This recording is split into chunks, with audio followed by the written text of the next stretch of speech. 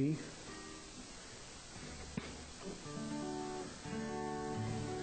Just wanna tell you I'm thankful for all that you have done for the stars and the moonlight and the setting sun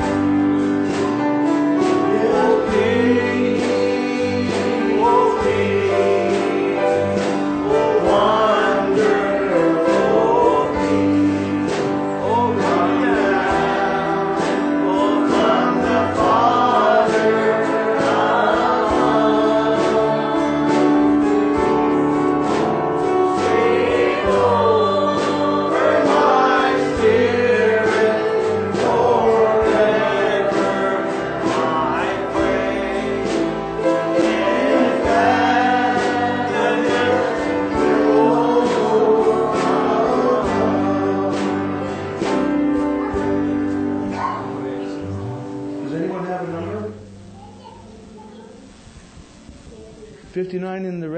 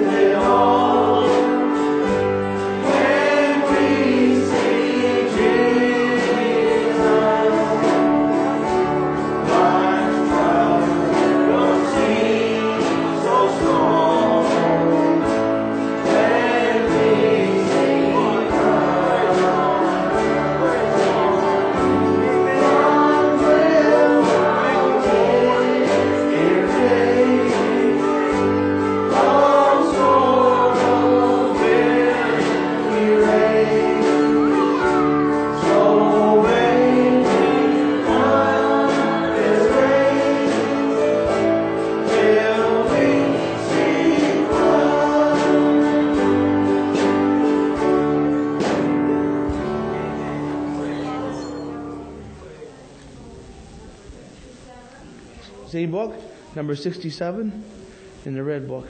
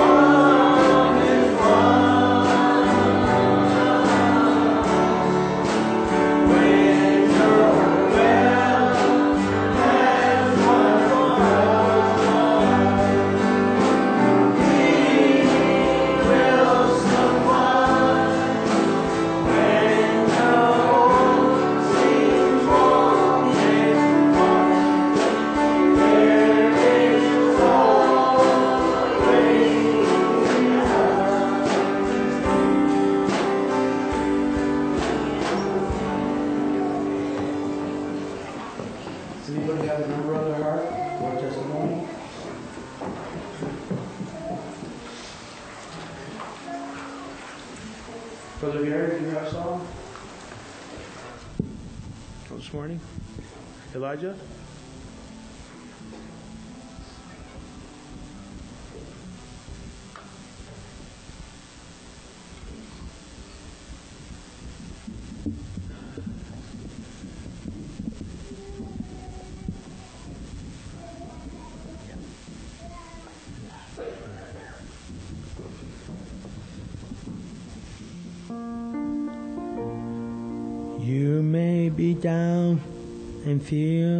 That God has somehow forgotten.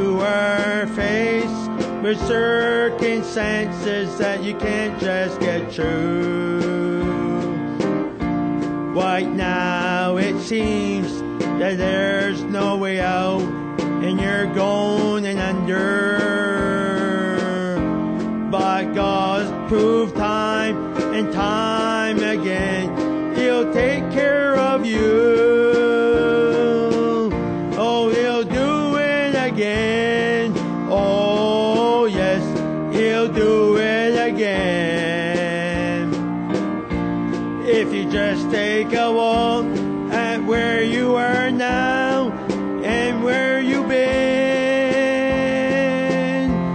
as he always come true for you, he's the same now as then.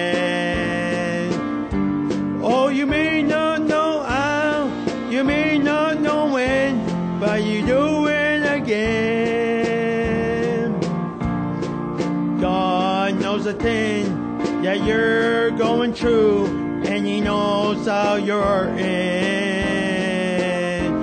You see, He knows your heart been broken into two. But He's the God of the stars, the sun, and the sea, and He is your Father. He'll calm the storm and you'll find to fix it for you.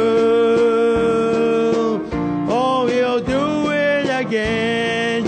Oh, yes, he'll do it again. If you just take a walk at where you are now and where you've been, as he always come true for you. He's the same now as then.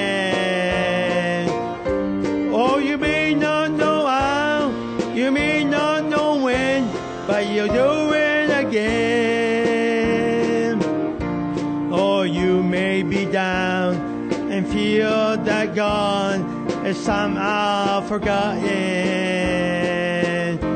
that you were faced with circumstances that you just can't get through.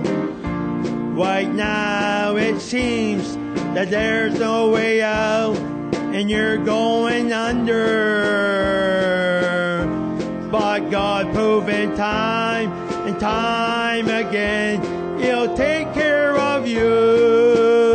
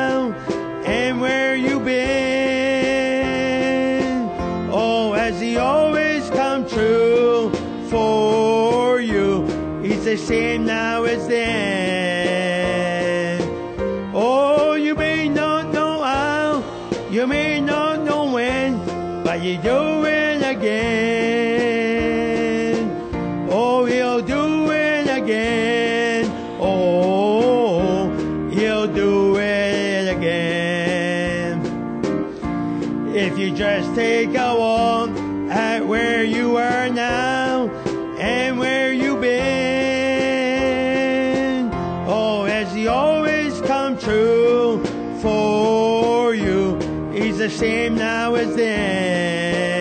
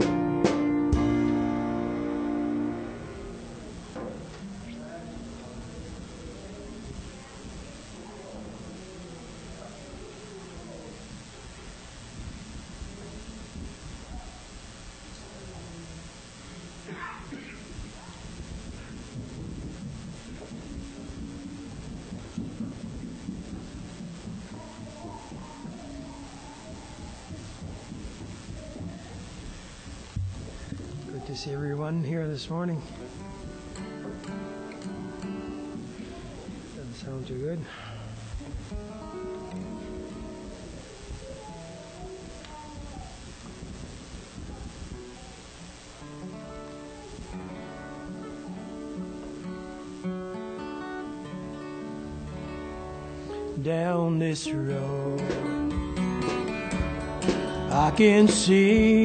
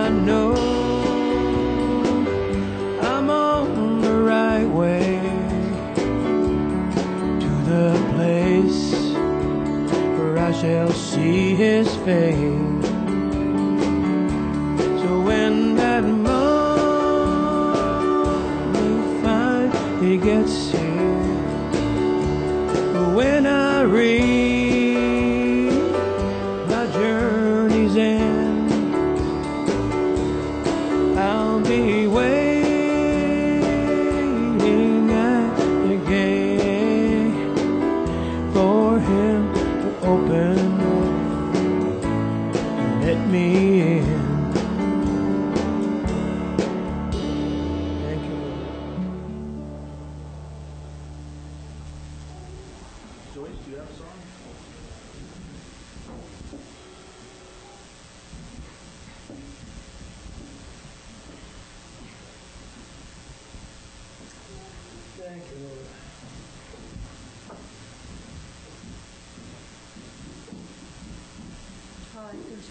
known you'll help me.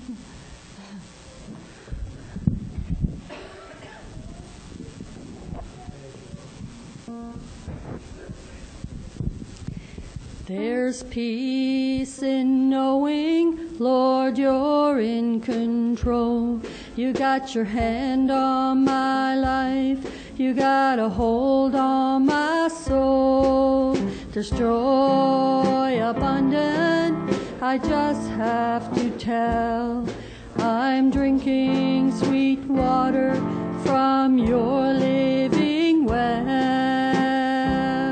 There's peace in knowing, Lord, you're in control. You got your hand on my life, you got a hold on my soul. There's joy abundant, I just have to tell.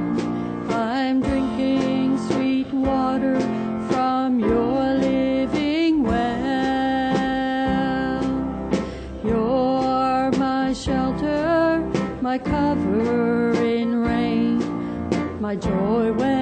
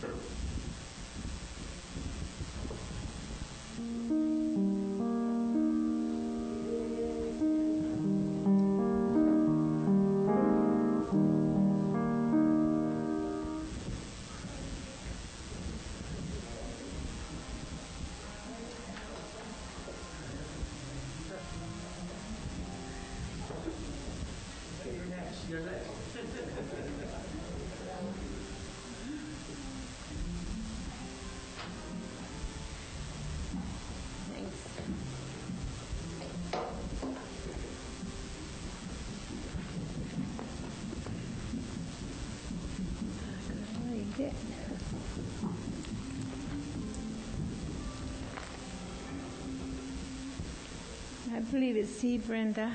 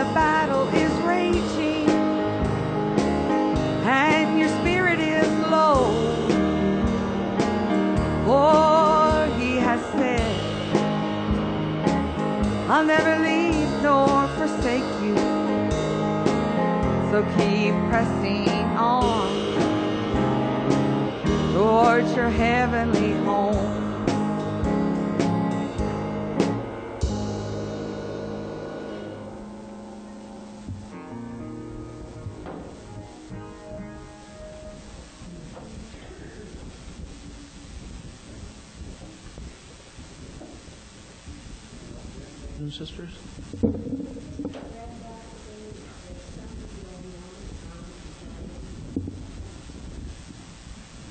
That's a yes.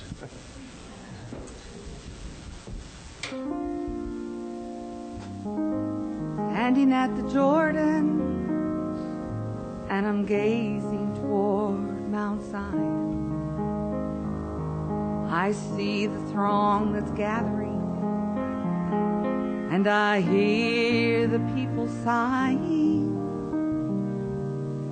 This journey has been so long, but the travelers, they're so strong. There's something going on. There's something going on. There's something going on, going on in Mount Zion. What's that song they're singing? What's that song? Something's going on, going on in Mount Zion. Saints are coming home. There's something going on. Well, I've made my preparation to enter Mount Zion by grace through faith in the one who made the way. And now he's my father is my father. And as he gives me, there'll be something going on. Something's going on, going on in Mount Zion. What's that song they're singing? What's that song?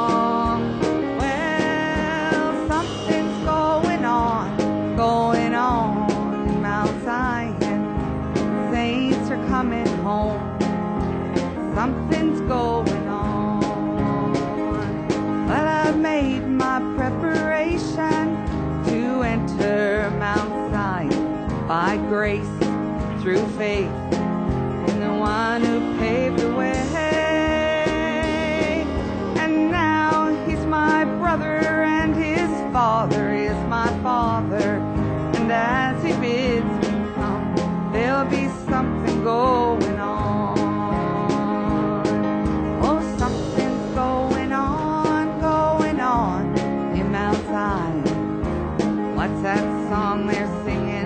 That song? Well, something's going on, going on in Mount Zion. Saints are coming home. Something's going on. I know that something's going on, going on in Mount Zion. What's that song they're singing? What's that song?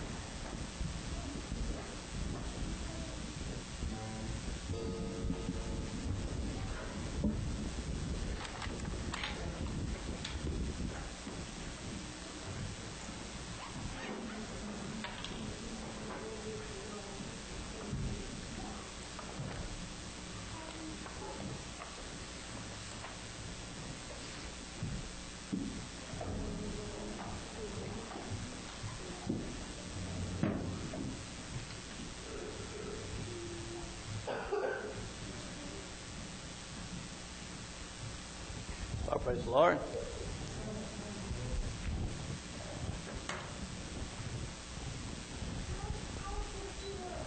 Times they are changing. No, the hour didn't change. That's in the spring. But praise the Lord, just the same. Heavenly Father, as we come to this part of the service, Lord, I just pray, Lord, as we will look into your word, use this vessel of you would see fit, Lord. We thank you for thy precious word in the hour that we live in. In the name of the Lord Jesus Christ, I pray. Amen and amen. You can be seated this morning.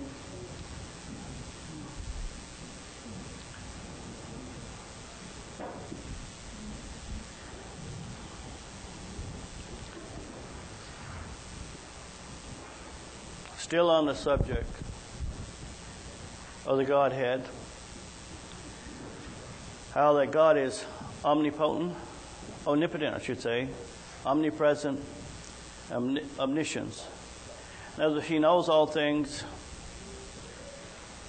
he, He's everywhere present, nowhere absent.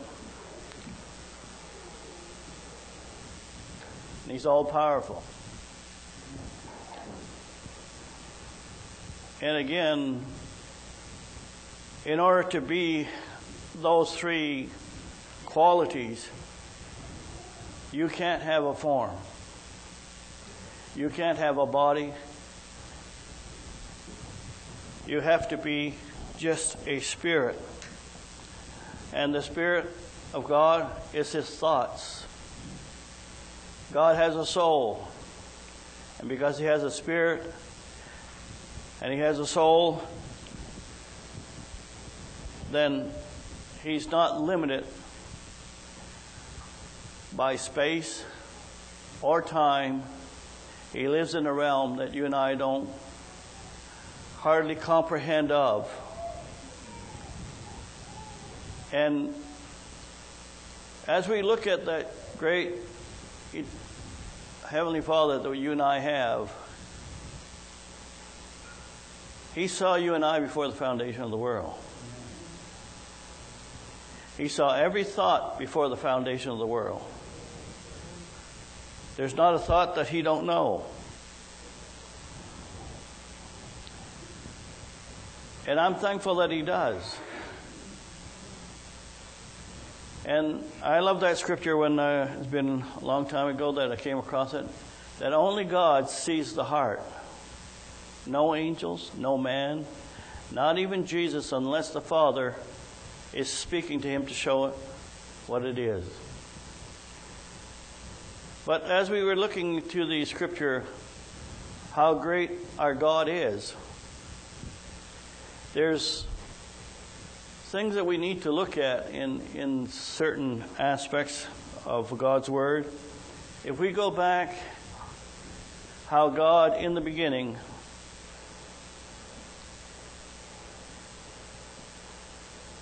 before he created that Big Bang. And it's hard for us to fathom how how much power that would have to be used to create this universe.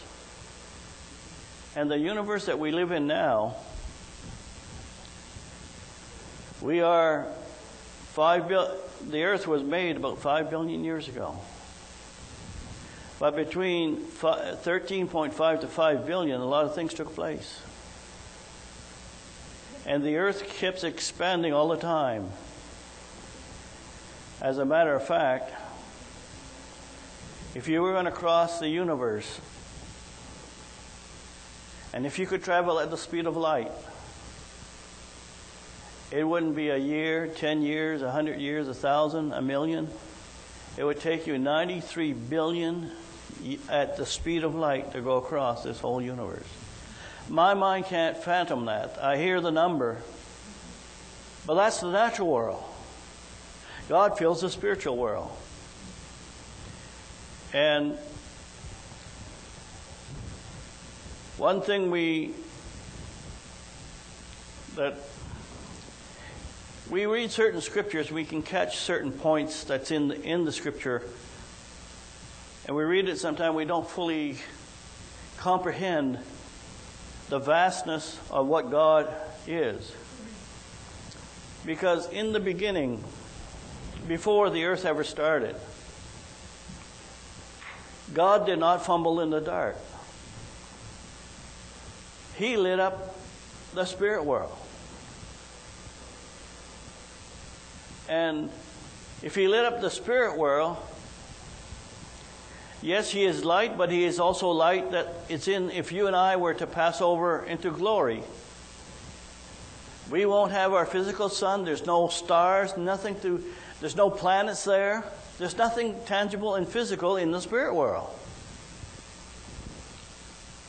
And so, therefore, the source to illuminate is that presence and Spirit of God that does it.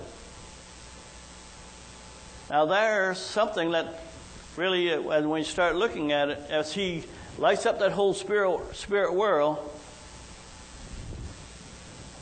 and when we look at God before the creation, time did not exist. In order for time to exist, there has to be something tangible made either in the natural world or in the spirit world. And it has to be made in such a way that in the natural world, as you travel, you travel in time. You came to church this morning, it took some time to travel from there to here. But if there was nothing, then there would be no time. So God lives in a dimension where time doesn't exist. So the past, the present, and the futures is all the same to Him. How do we comprehend that? I don't know. Until we get over there, we'll find out when that time comes. But I'm thankful that He is. Now, the reason I'm going about it this way here this morning yes, God lights up the spirit world. Now, the sun and the planets didn't start from day one from the Big Bang. It took almost 8 billion years to reach there. And there too, we look at, well, we see, we look with our eyes in the hour that we live in. Oh, God made the planets, He made the stars, He made the galaxies, and all those things that are in the world. He's the author of it. But uh, God didn't start when the Big Bang started. Well, I'm going to form this planet over here five, five billion years later, and I'll make a sun over here, and I'm going to put a star over there, and I'm going to put a galaxy over here.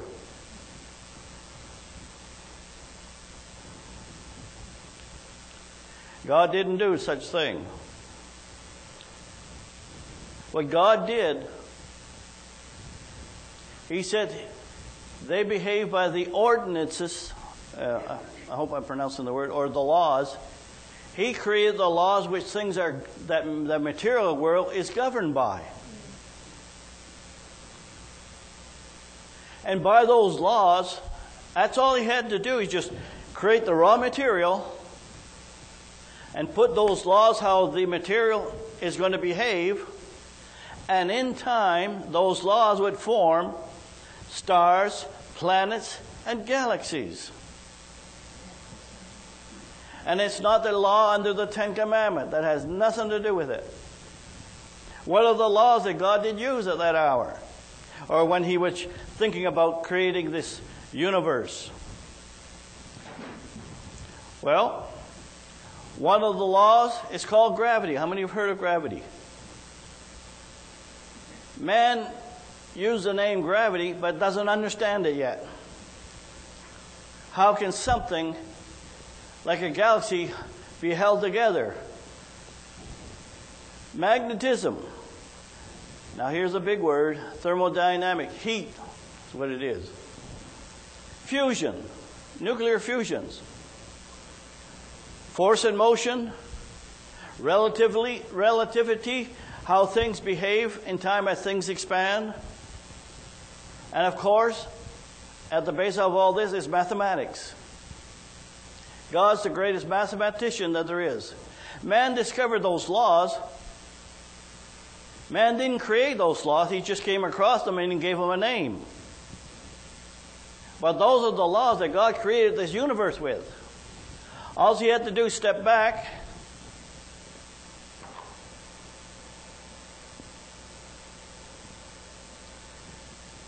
and let that, he's, yes, the origin of the creator of that Big Bang. Of all the material that was going to be used for the universe. And all he had to do is speak his laws into place, and these things starts to happen. And some, and then we think, well, oh, he created the universe. That happened in maybe I don't know, ten minutes or so. No, he didn't. It took a while. How many of you know what a hydrogen molecule is? You know what hydrogen is? It's a gas. Well, maybe for some of you it may be easier to understand. You know what oxygen is? Something you breathe. You can't see it. Well, oxygen has more molecules than the hydrogen atom has. And in the beginning, when, the, when it, that started, him creating all the material that would be used or whatever would form this universe, you had hydrogen atoms. And because of magnetism and gravity, they started to pull together. And when enough of them got pulled together, it's created gigantic stars which would be bigger than our solar system. And when that much of hydrogen gets together, then it causes a gravity. And if you were standing on the, not that you could stand there, but you couldn't even exist. You'd be crushed by the weight or the gravity that's pulled on it. So the, the gravity's pulled so hard that it causes the atoms to cause a reaction like a nuclear reaction. That's what our sun is, a nuclear reactor. And so therefore, why would God go through that process? When God started the Big Bang, He didn't create right from the get-go gold, platinum, uh, carbon, oxygen, all those elements. He didn't form them when the Big Bang started. Over here.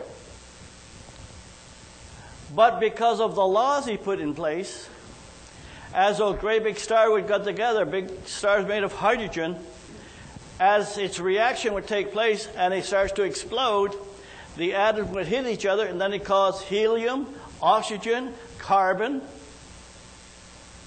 that's how those elements that we see in our periodic table exist. Now, it's not going where I was wanting to go this morning. I'll just follow the thought through anyway. So, all these things were created about 10 billion years ago. There was a great big stars, which we couldn't live in that era of time. But it was God's chemistry of making the different elements that we have in the world. And some elements are pretty heavy, like uranium. Gold is somewhat heavy too. Because if you have a brick of gold, it weighs quite a bit. So those big elements, they happen when the big star happens to explode and cause a supernova. The, the pressure is so great that you and I can't even fathom the forces involved that what actually crushes those, those atoms that it forms a new element. And when they explode out, it's explode out as, well, I don't want to use the word dust because it's not all dust, but all those elements would spread forth and they fly out through the universe. Then finally, when all this dust comes together, then it forms the sun and it forms our planets. Our planet has all those elements, but because God, in His chemistry set, 10 billion years ago when He created those big stars, that's how every element we have that man knows on the planet was made back then. Not in the day of the Big Bang, 13 billion years ago, but 10 billion years ago. Then, when that was settled, then everything was in place. Now God could form smaller stars and planets and galaxies that we know today. I know this is kind of scientific, but I'm using that as a base for something else here this morning. That's the natural side of things. All right?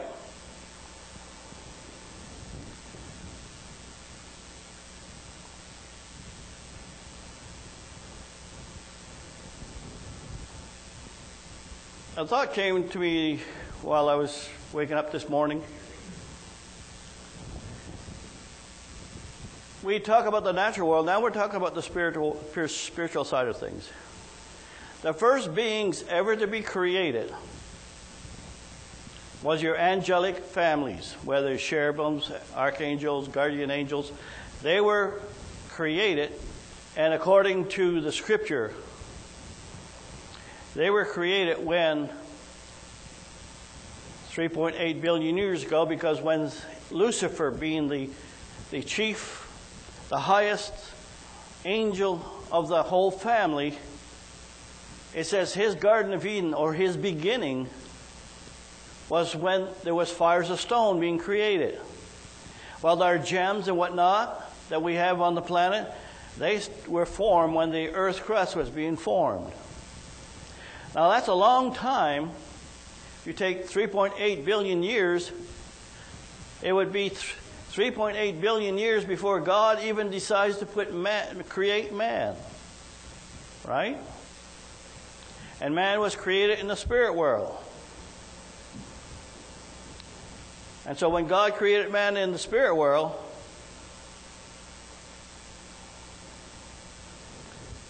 he took a bit of his the spirit that he is, and he made Adam in the spirit world, not on the earth. He was in the on the sixth day that he was created. That spirit that he put in Adam, again, is not the born again experience. It was a spirit of life that would give him life and then God gave him also of his image, which is the soul, that he could have a characteristic that, because if it was just spirit alone, then everybody would be the same. You wouldn't know Adam from anything. It would just be like whatever. But as he's created in the spirit world, angels were created the same way. But they were created with a greater amount of the Spirit, and also angels have a soul. Because Michael is not Gabriel, and Gabriel is not other, other angels that are in the family of God. And so, therefore, when God created the angelic family, like it was 3.8 billion years ago, but now we're bringing it to the family of man. And here's something so simple. When God created Adam, he's the first one of the family of man, isn't he?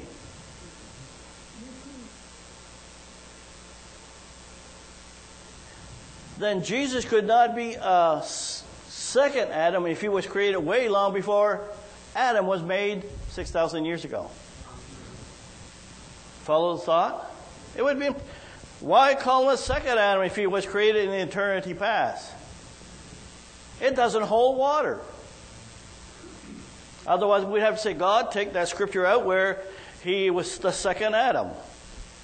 The, being the second Adam in the mind of God, by predestination, he knew everyone that would be created from the days of Adam till you get to the eternal age. But in the mind of God, we were there.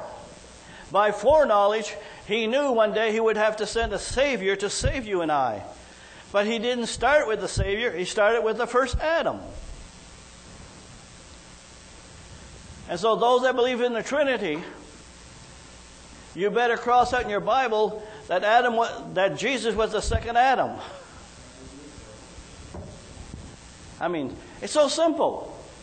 It's like once you see it, and I keep going back to that simile or that part I seen on a, a show when I was young about Marco Polo and, and the egg. How that rich nobility were just snubbing him and making mocking of him. And so he thought, well, time to, to see what, if they're really that smart. And he said, well, who can make an egg stand on its end? I, I had one lately and I tried it. It works. So they were they were putting taking the eggs in. They were all fumbling, and and there, there might have been about twenty or thirty of them around the table. And they said, "Well, it can't be done. We're smart." In other words, they were saying, "We're smarter than you. You're trying to trick us. It's it's not. It can't be done." He picks up the egg, gives it a little tap. It stands up. Well, anybody could do that. That's the same things as tares looking at God's truth. They look at you down as nothing. But God makes it so simple. Praise the Lord. Because once it's open to your eyes, it's not complicated. Just like this here. If God created Adam in the spirit world on the sixth day, where was Jesus? He wasn't there. But God had a time when he would be born. And he'd be born without sin, because that's why he's called the second Adam. And he'd be the first of the new creation of God's creation, not in Genesis, but he's the first one of that new creation of God. He's the first one to be infilled or baptized, if you want to use that, that terminology, baptized with the Spirit of God. He's the first one. That's why he has preeminence. He has preeminence because of that family of his that God wanted, was looking for to begin with. And then when we look back, in the, day, the days of Adam, he was created on that sixth day. God rested the seventh. That's a thousand years. And he was put on the earth on the eighth day, or our first day of thousand years, that we are now in 6,000 years of time. And then you'll have some in the denominational world. Well, we don't believe all that stuff. It doesn't matter what it is. God created things, everything in, in six days, six day creation. I mean, you have some people that are doctors of divinity that study things, but they study with their mind being, if you want to twist it, that Satan will only get them to look in that and they'll be so adamant they couldn't care less. There's truth. There was a pile load of truth in front of them. Oh, what? No, no, no. Everything, all the, all those animals went on the ark. Well, what about the dinosaurs? Well, we don't know about them things. well, God does. There's a way that God brings things forth in the hour that we live in.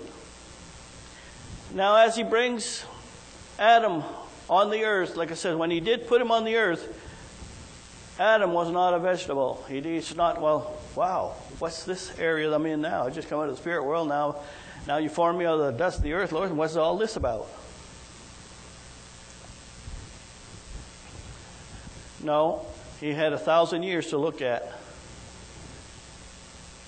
And when you look back at time, I often wonder sometimes why in the days of Adam and or even after Adam and Noah, why were they looking at the stars?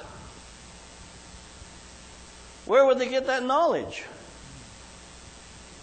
Well, Adam knew. And in Genesis, God said that the sun, that the sun was there for the day, night or day, one cycle, that the moon was for months, and the stars was for years. And Job talks about the different type of constellations that are there, that they they are there to govern, to know when a certain period of time in the year.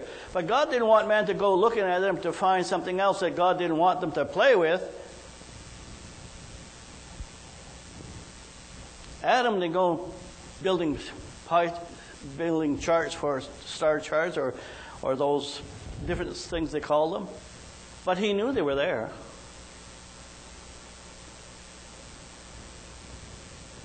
So when Adam was created,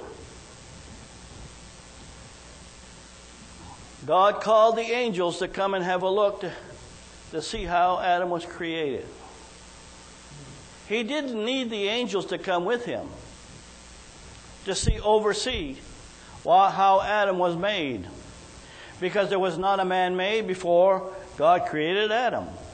But as God is bringing the angelic family, it's because he knew in his plan that yes, Adam would fall. But he also knew that the angels had a part to play in the family of man. They would have to know not what color eyes you have, how much hair you have, how high, and how much weight you, you or whatever, any of those things.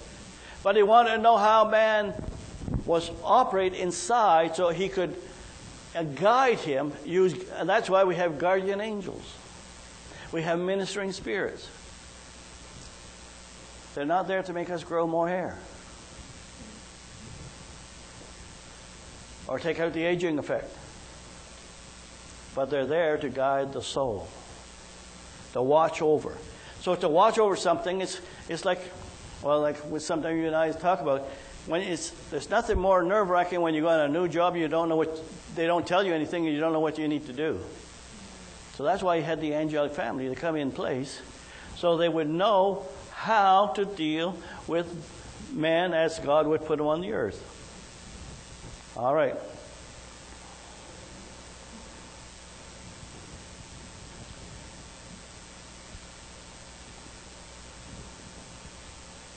So now man comes into play.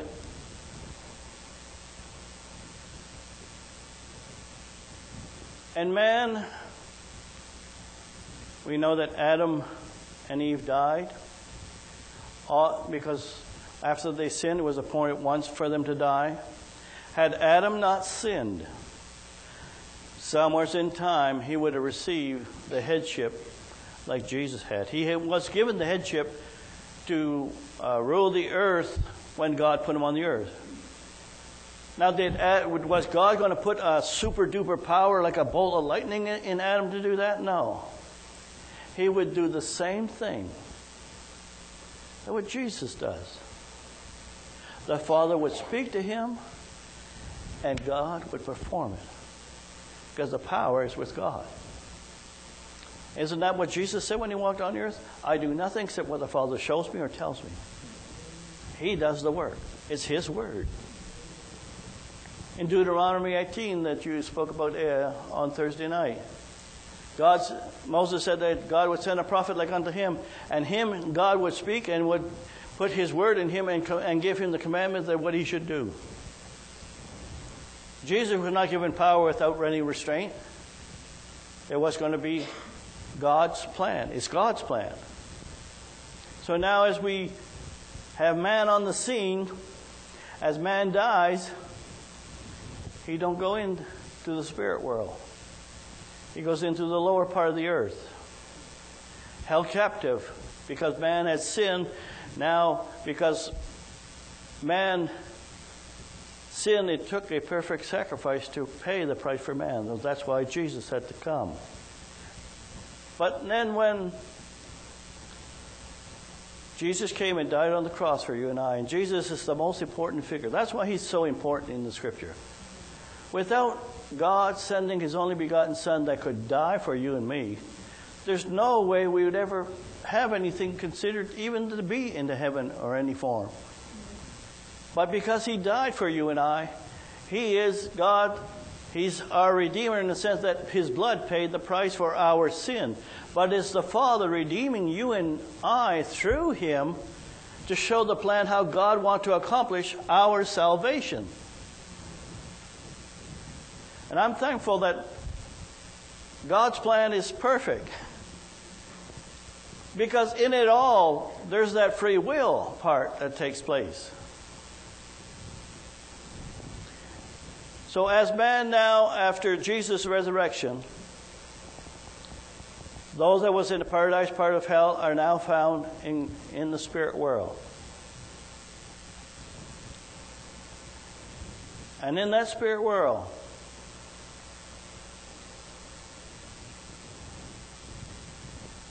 from the days of from the early church till we come down to the end of time that we're living in now. Isaiah speaks about a scripture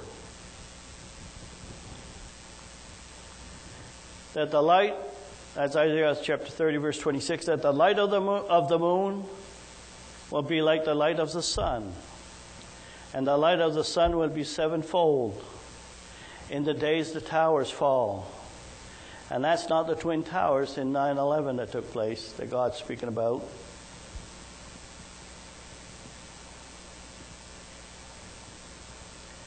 That's right over here.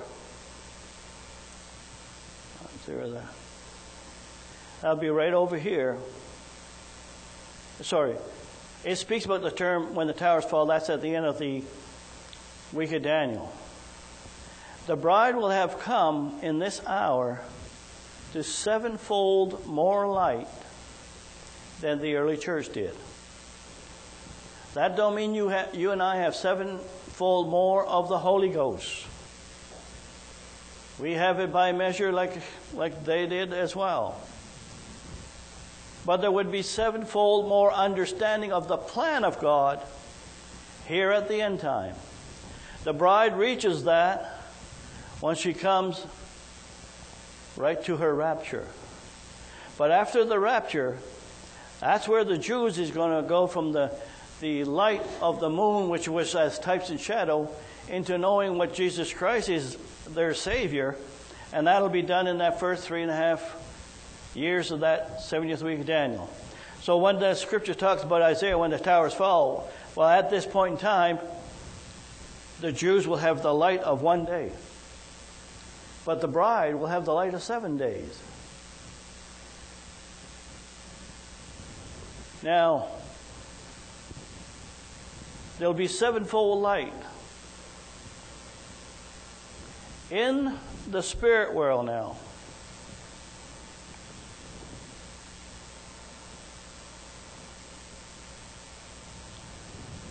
is the spirit world going to be seven times brighter? Is that what it's referring to? Because it'll be sevenfold more light? No, it's because of the bride.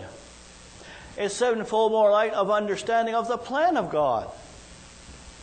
Because remember, when God created the, the universe and set in motion the spirit world, He lights up the spirit world. He's not like a light bulb that you have with a, a control that you can bring up the, the intensity of the light and bring it down.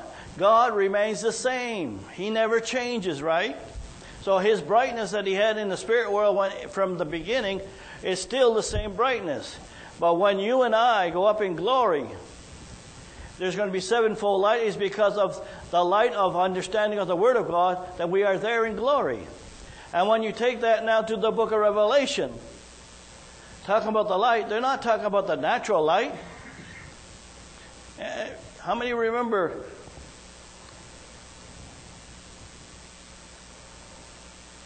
if we were, here's this planet that we are, Earth over here, in order to have sevenfold physical light, the Earth would have to be where the planet Mercury is. And where the planet Mercury is, it's pretty hot there. Matter of fact, so hot that you can't live there. I don't know if I put it in here or not. But Mercury is around 450 degrees centigrade. To the bride that has a resurrected body, no problem whatsoever. Those the natural things won't hurt you because you have a spiritual body. You have a resurrected body. But those poor millennium subjects would have a, a hard go. Even though they go into the eternal age, they go into the eternal age like Adam had not sinned, he would have lived eternally. So these more these moral subjects that are in the millennium that passes through the judgment of God, they will be subject to heat. And so therefore the sevenfold light has nothing to do with the physical light in that period of time.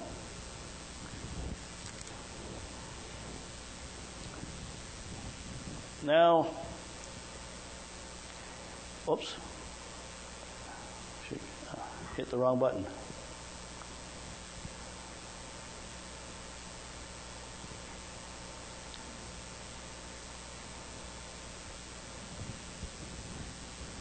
Maybe I'll use an, another chart instead of that one.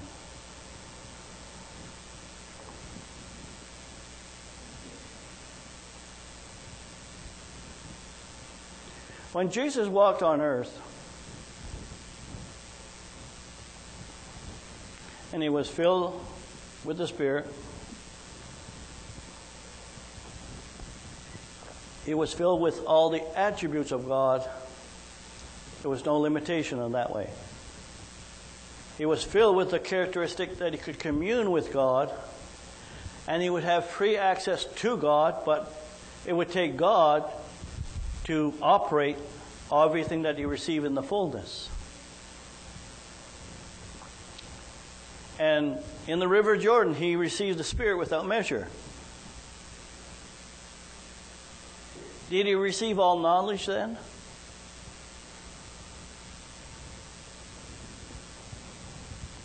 And when he went to the cross of Calvary and he rose from on high, did Jesus know everything? He knew a lot of things, though. Sometimes more than what we realize. While he walked here on earth, he knew about, he spoke in parables which he got it from his heavenly Father. Now, a parable does not give you details, does it? Not that I'm aware of, anyway. There are things that are mentioned that we can relate to to some point. But you take the parables of Matthew, Matthew chapter 13. There's seven parables. That spans this time here of the, of the grace age or the Gentile age. But in those parables, you can only see so far.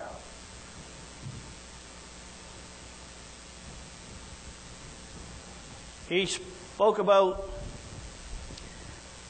concerning in Matthew 25, and I believe it's around verse 14 to 27 or something like that in that area. That he spoke about how that he would come and give rewards to the servants because Matthew 25 has its origin. When he's speaking about rewards, he's speaking about how the servants would be starting from his day, from that day, from when he, after he went on high, till the time that the seventh seal is broke. But it's mainly predominantly talking about what conditions that these servants or the, the bride would receive at the end, because the reward comes at the end. So when you look at the rewards given to the, if you want to, the bride of that hour, whether it is the servants or the, the believers, because he that believes a prophet in the name of a prophet receives a reward. He that receives a good man in the name of a good man receives a good man's reward. So therefore, but when he gives the parable, remember it's an illustration. Because in that parable, in that illustration, when he talks about giving the, the, the talents, he gave one five and he increased five, didn't he? He gave one and he increased by one. That's a ratio of one to one, isn't it?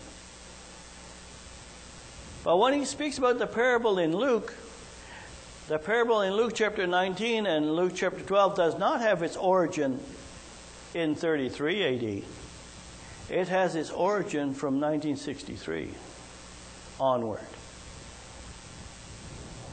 Because it says, after the good man had returned, having received the kingdom, he came and he delivered pounds. Now, in the parable, the Lord makes a distinction between pounds and talents.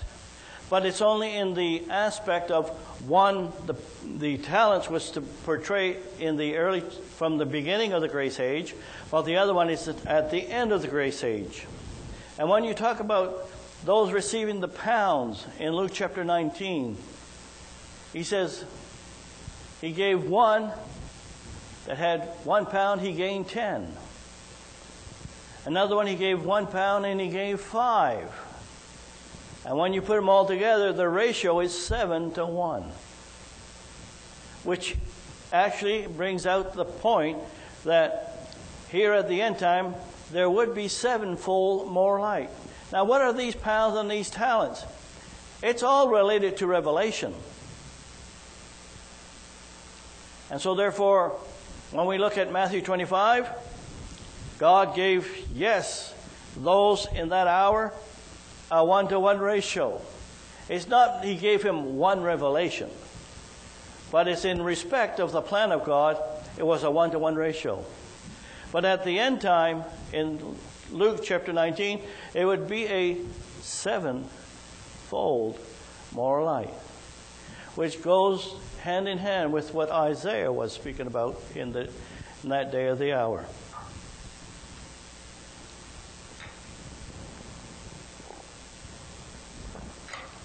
So Jesus had some knowledge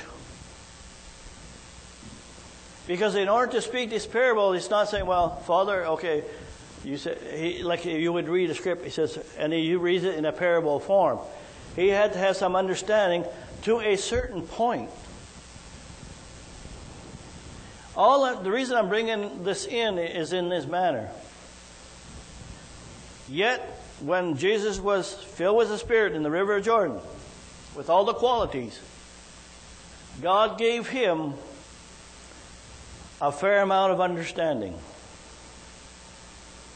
But then we go on a little further in 96 AD, and now we're in the book of Revelation.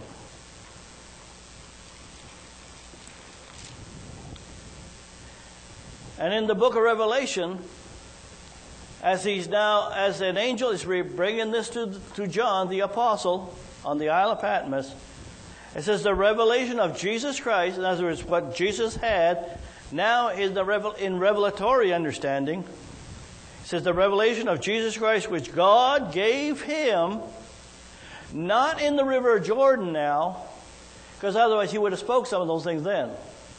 But now he's speaking about the revelation of Jesus Christ, which God gave him to show to his servants, plural, not just one, things which must shortly come to pass. And he signified it by an angel to John. So, in other words, Jesus, put it this way in 96 AD, the Father gives Jesus more understanding of what's going to be happening in that book of Revelation because it has to do with the grace age and the plan of the finishing plan of God. Well, why would it be important for him to receive it then? Because he's high priest. He has to know what's going on. And so, as the Father gives that to him, and he says that blessed is he, if you want to, yeah, blessed is he that readeth and understandeth. That was not in 96 AD. Yes, they understood it as something that was just, if you want to, from an intellectual point of view, yeah, there were seven churches that they picked and those, but they were used as types. But the revelation of it only started to come in 1963 onward. And so in 1963, now God has opened up a whole lot of things. But this was given to Jesus in 96 AD. And he was holding its revelation of it till 1963.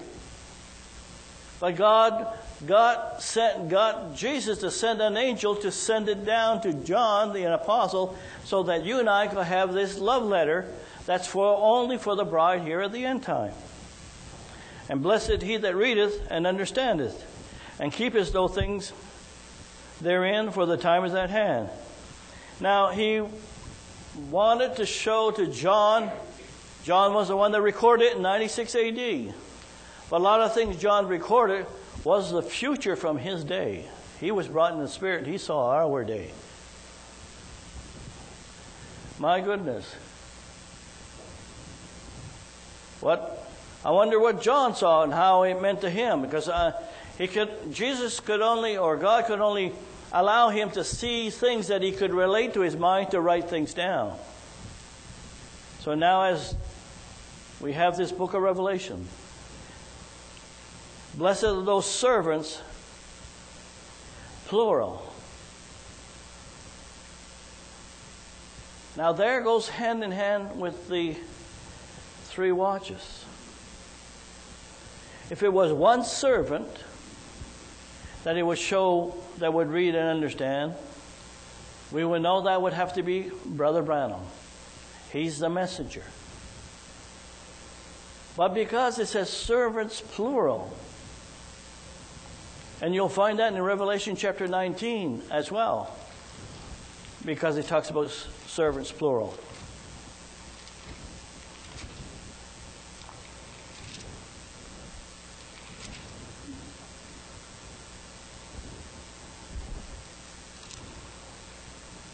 Uh, chapter 20, I should say.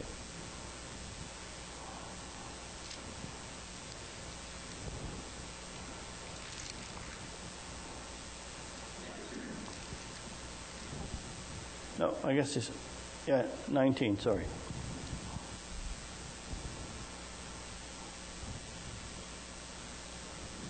And how God, here at the end of time, would show unto his servants, plural, is just to show, is to confirm that when, in chapter 1, when he says that it was sent to John to show to the servants, it was not just the servants in the early church. It was mainly meant to be the servants here at the end time, plural.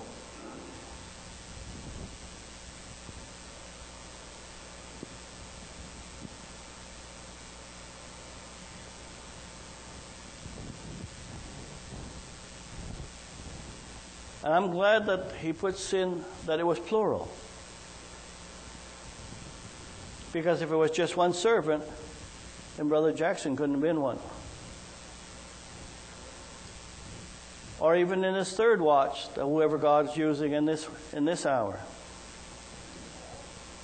And so, therefore, in 96 AD, when the Father had finished in heaven, giving to, to Jesus, his only begotten Son, all the under, understanding of things that need to be written in that book of Revelation, he sent an angel to signify to John.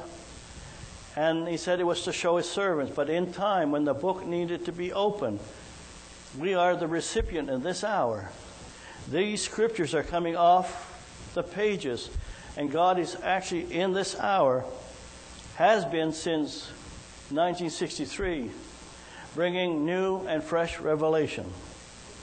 I was just um, went on YouTube and I seen there's a lot of messages Brother Branham has there. So I thought I'd look on the one that he was speaking about the questions and answers. And this is in 1964, just a year before he died. And I went searching through all his sermons because you, ha, you can have that. You can search all his sermon with a word processor. And there's, this is the only place I could find that he actually speaks it, and this clearly in this way. And I can see where Brother Jackson would have gotten it at that time. It was not in a sermon, but it was questions and answers that he was giving out. And he says here, What is the carcass? He's speaking about Matthew chapter 24, verse 27 or 28. The carcass is what eagle feeds on. It took a prophet really to break that open because if you ask a denomination what, what's eating the carcass, they have no clue. They, some, they refer to buzzard or something, I don't know, whatever they think. But anyway, he says, the carcass is what eagle feeds on. Now, an eagle is considered in the Bible a prophet. An eagle is a prophet, is a foreseeing bird. Right? He says, a prophet is an eagle. God calls himself an eagle. Well, in a sense, because of the eagle age that we're living in, through that eagle. And he says, We're eaglets, small eagles. Then the believers, you see. And what is the carcass that they feed on? It's the Word of God. Wherever the Word of God is, is, the true nature of the bird will show itself. See, an eagle wants and we'll always want fresh meat. And he must have fresh meat. Isn't that what brought things down through the three watches? Is the fresh meat? Now, and he goes on and says, it's not a buzzard. A buzzard is not an eagle. He don't eat on fresh meat. He don't. A buzzard don't live on fresh meat. It's on past tense meat. And so the bride in this hour, what causes you and I to be alive in the Word of God? What gives it life? It's the fresh revelation that God opens up on ground in your day and in your hour. Now, if we go back to the days of Martin Luther, the just shall live by faith, that was fresh meat to them. It will always have its place in the Word of God. But you and I live in this hour, that is not fresh meat to us. It may be fresh meat to a sinner that comes to the Lord and he needs to know what justification by faith is. But if you were just going to eat the justification by faith day in, day out for 10, 15 years, no longer fresh meat. A buzzard will play with that. A denominational chicken will play with it. He'll be happy just to stay there. He don't want no fresh meat because he don't want to move on. And, he, and what fresh meat will do will cause you to take some things off that we shouldn't have and to grow into something we need to. So I, I found that kind of interesting when here he is at the end of his ministry. Brother Branham in 64. And God gets him to open that revelation on what that carcass is about. I would have thought he, he might have touched it in 63 or something in those, in those years.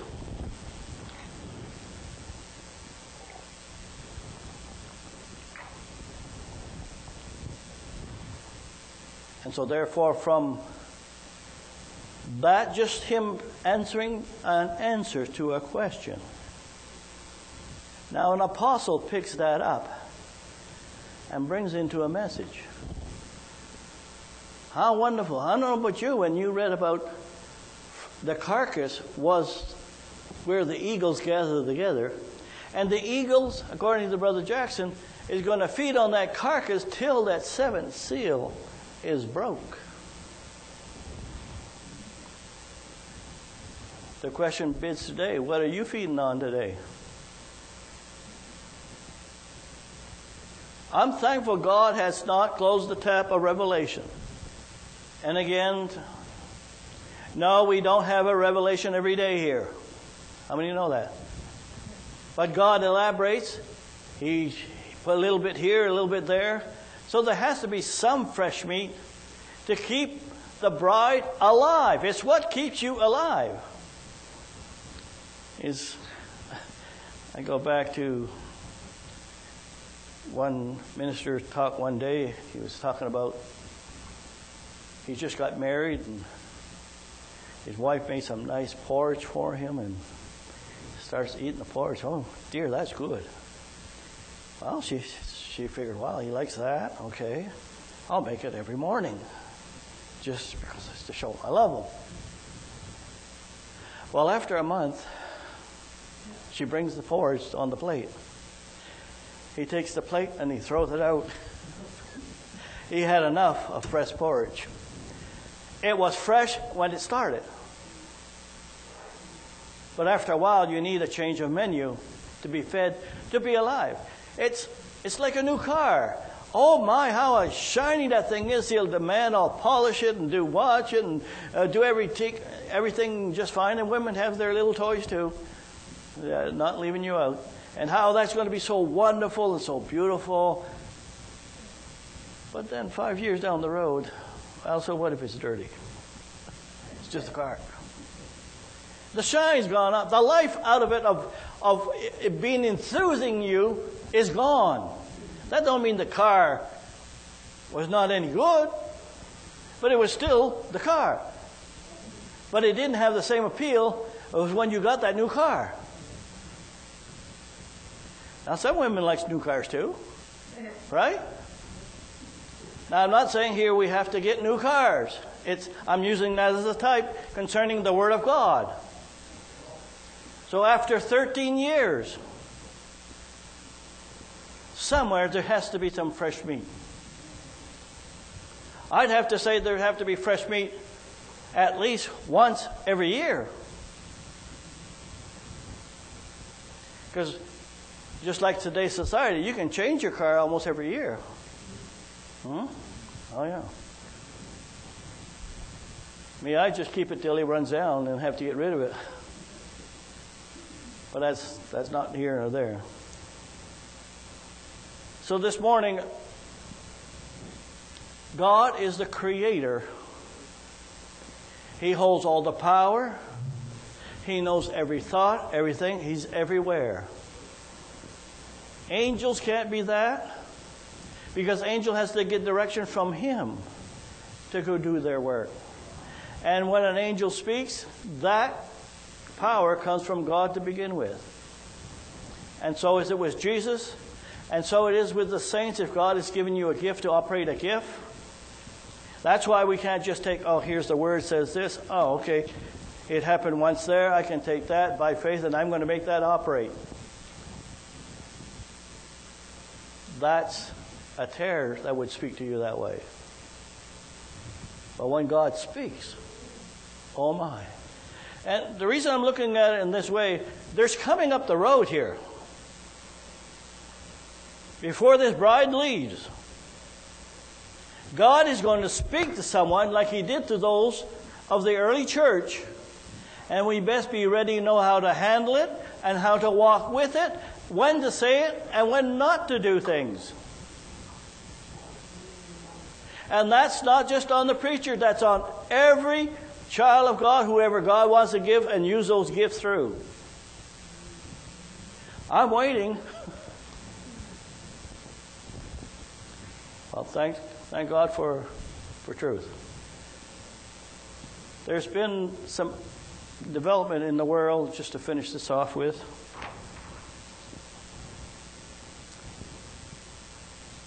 Since 1962, the world was kind of looking at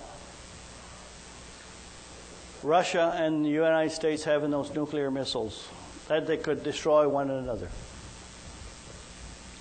Then they got to the place where, as computers advanced, they could more or less now put in other missiles that could take out those missiles and render them useless as far as coming intercontinental wise.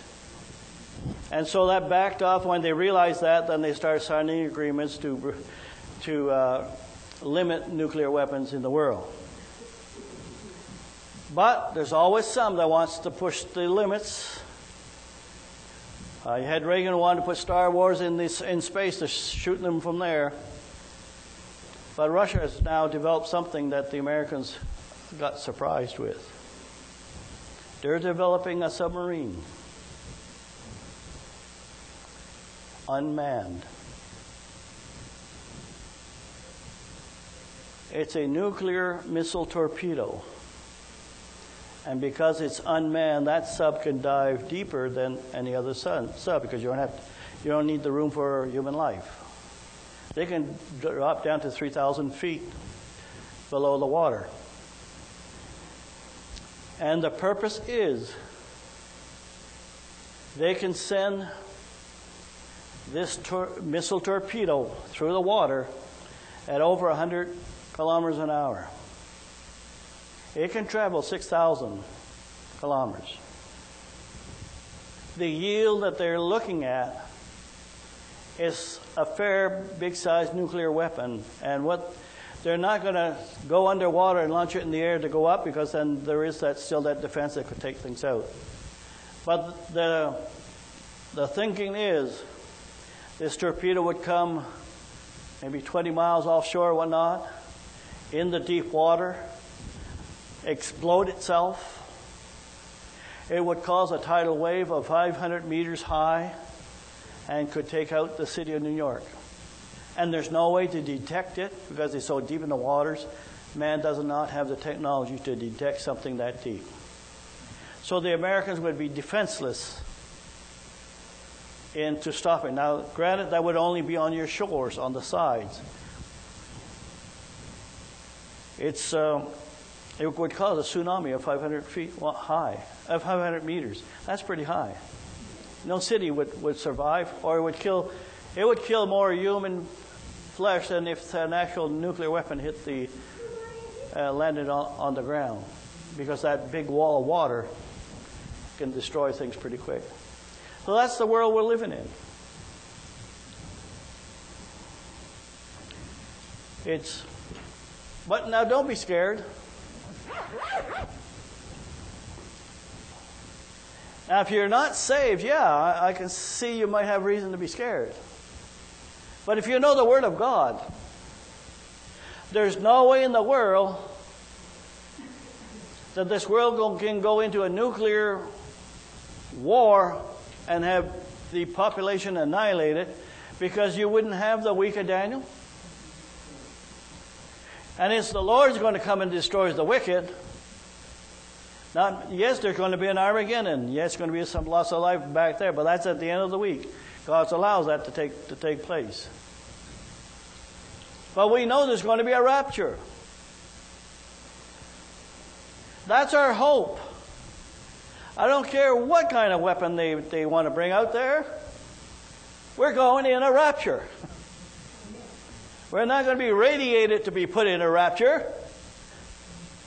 The, that has to be held off no matter what mankind thinks is going to take place. Now, the other approach Trump wants to make smaller nuclear weapons that can not kill so much that they can go in and destroy certain, like North Korea or places like that. Now, they have weapons. seen, I seen a, an article on, on the nuclear weapons. I'm rambling on there. I'm just going to finish with this. Man has developed, the first one was an atomic bomb, which is radiation, all kinds. But it wasn't very powerful, only two kilotons and whatnot. That's the atomic bomb. Then they developed the hydrogen bomb, which not was just a few kilotons, but now 25 megatons. That's your hydrogen bomb. But in the development, of course, of developing things, they went and they've discovered that they can make a neutron bomb, not as powerful as the hydrogen, but this radiation, you can go in and take the place 16 hours after. You don't have to wait 100 years for the radiation to go down. and as they were saying, he says, they got so gung ho in when they were bring, trying to make different nuclear weapons. One scientist came to one of the, his leaders and says, "We can make it a, a, a small hydrogen bomb in a grenade." And the guy says, "Who's the idiot's going to throw it?" they weren't thinking; they were just thinking, "We got to miniaturize thing, miniaturize thing."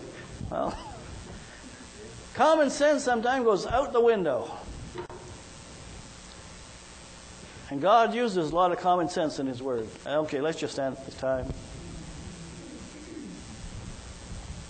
Heavenly Father, I thank you, Lord, once again for what you have in your Word, Lord. We know, Lord, that according to your Word, no matter what man does, you will have your Word fulfilled as it is written. And I thank you, Lord, this morning. Use the words that were spoken as you would see fit. In Christ Jesus' name I pray. Amen and amen. You can be seated. If, if we'll just maybe play one. Someone still has a need. And yes. Yeah. Go ahead. The dream, Brother Jackson was alive, and I had a dream about this great big eagle. He took almost the whole sky. And there was a perfect square. It was in black. And this eagle was looking down through that square down here. And I knew the great eagle was God himself. Great eagle. But I couldn't understand the square, what it meant. And I picked up a contender, and Brother Jackson explained what the square was. And I remember that he said the square represent the whole plan of redemption. And I was so happy when I read that in the contender because for a long, long time I couldn't understand it, but I just left it alone. And I picked up the contender and he explained the whole thing about it. So God knows, He knows when and what we need in certain times.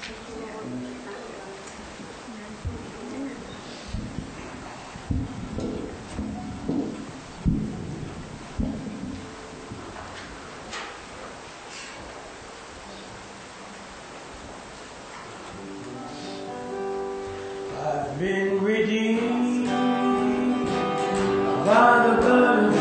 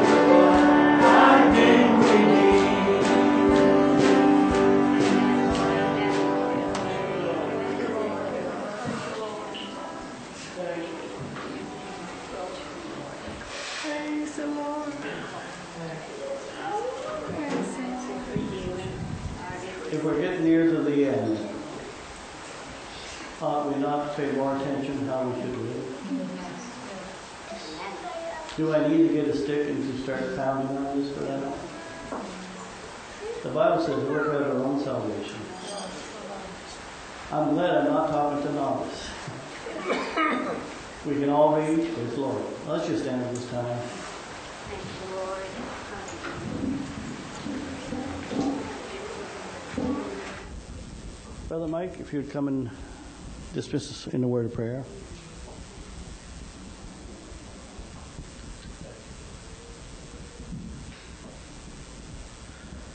Heavenly Father, we thank you, Lord, for this day. We thank you, Lord, that we have a place to assemble ourselves together. Lord, thank you for your mercy and your grace. And Lord, for the fresh meat that you give us. Lord, I just pray that each and every one of us, no matter what happens, Lord, that we just keep walking on with you. And Lord, I'm thankful for this ministry. And Lord, I also pray for the little country of Israel. And any that are sick and afflicted, Lord, you know all about it. We can't do anything in ourselves. We can't heal anyone, but Lord, you can. I just ask this in the precious name of Jesus Christ. Thank you, Lord. Amen. Amen.